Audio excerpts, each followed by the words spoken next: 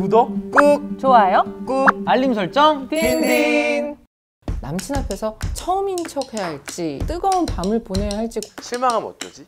눈치 게임 같을 거야. 체크아웃 시간 오니까 둘 다 졸라 다급해져 야씨 그냥 갑자기 사귄 지 두 달 된 남자친구와 제주도 여행을 가기로 했어요. 남친이랑 자는 건 걱정이 아닌데 어떻게 잘지가 걱정입니다. 세 번째로 만난 남친이라 저는 이미 경험이 있는데 남친 앞에서 처음인 척 해야 할지 아니면 둘 다 기억에 남을 뜨거운 밤을 보내야 할지 고민스러워요. 제 마음은 후자인데 남친이 실망할 것 같아서요. 왜? 맨날 우리 민지 순진해서 를 입에 달고 살고 저를 아기라고 부르는데 경험이 있어도 아기로 봐줄지 처음인 척하는 걸 눈치채면 더 실망할 것 같아요. 저 어떻게 해야 좋을까요? 정렬이 오니까 수위가 진짜 높아지는구나.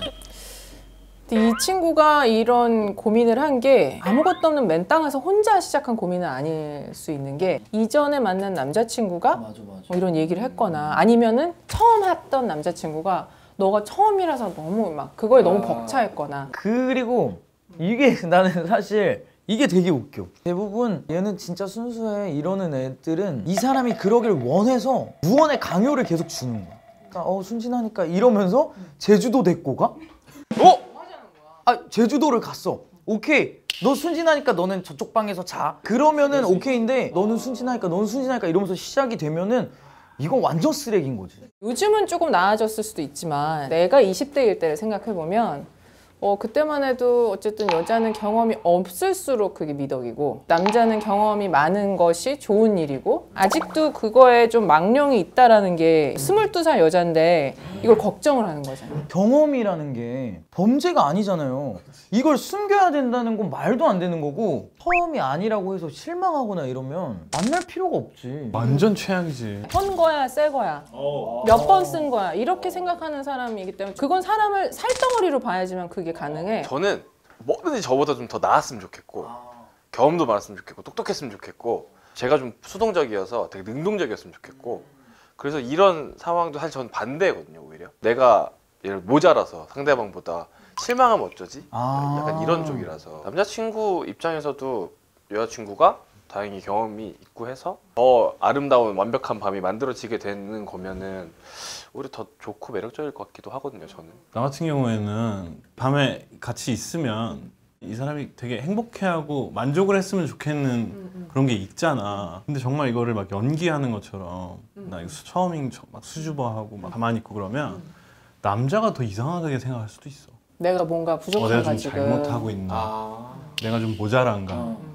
음. 걱정돼서 연기를 하는 거는 아닌 것 같아. 얘가 처음이든 아니든 상관이 아예 없는 상황이었는데 얘가 만약에 연기를 했다? 싫을 것 같아.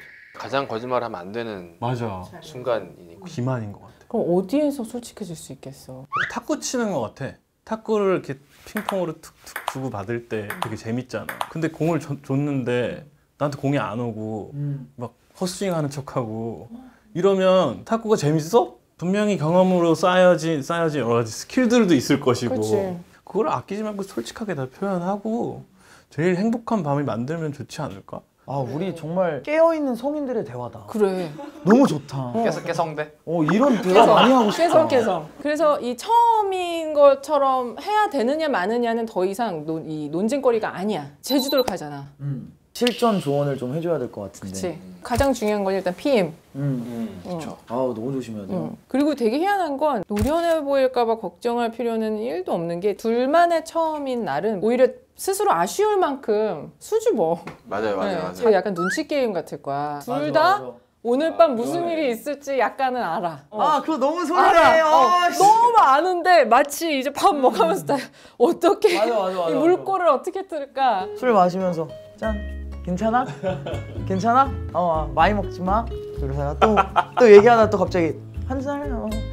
짠 괜찮아? 어 많이 먹지 마 많이 먹지 마. 그러다가 아무것도 못하고 잠든다. 어 아무것도 못하고 잠들어. 그럼 아침에 아침에 되게 막 어떻게 해야 될지 모르겠어. 그럼 둘 다 체크아웃 시간 오니까 둘 다 졸라 다급해져.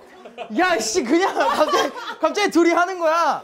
둘이 눈치 빼다가 눈치 싸움하다 어, 실패하는 거지. 망하는 거야. 어, 저 그럼 또 생각났어요. 제주도 여행에 걸을 일 진짜 많거든요. 어. 올레길이라든 뭐든 간에 체력을 너무 많이 빼지 말라. 아, 아. 후두루들. 예, 안 돼. 아, 지금 이렇게, 이렇게 잠들면 어떡해요? 피곤해서. 그래. 이게 진짜 현실 팁이지. 처음이니까 되게 기억에 남는 뭐 되게 멋진 게 있었으면 좋겠긴 해요. 장소의 분위기 같은 것도 뭔가 기억에 남는 그런 분위기였으면 좋겠고 기억에 남는 음악 선곡이라거나 10cm 노래 중에 매트리스라는 노래가 있어요. 오늘 밤 너는 이 속에 들어가.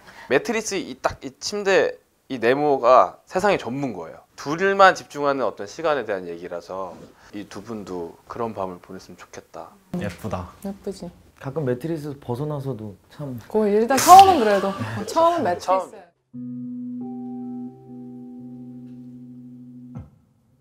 오늘 밤 너는 나와 이불 속에 들어가 아무것도 하지 말고 그냥 바라보다가 웃음을 참지 못하고 먼저 깜빡인 사람.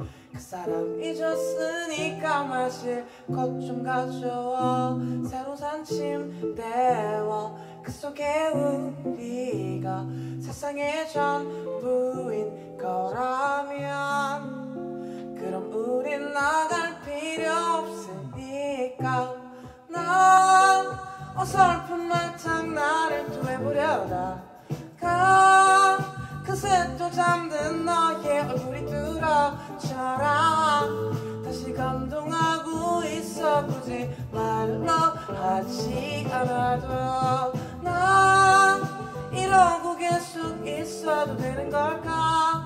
넌 또 다른 많은 밤들 나와 있어 줄까 제발 날 보고 또 웃어 굳이 말로 하지 않아도.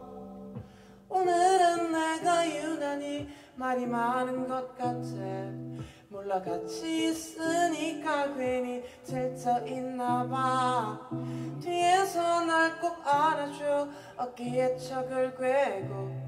그리곤 가만히 잠들 것 같으니까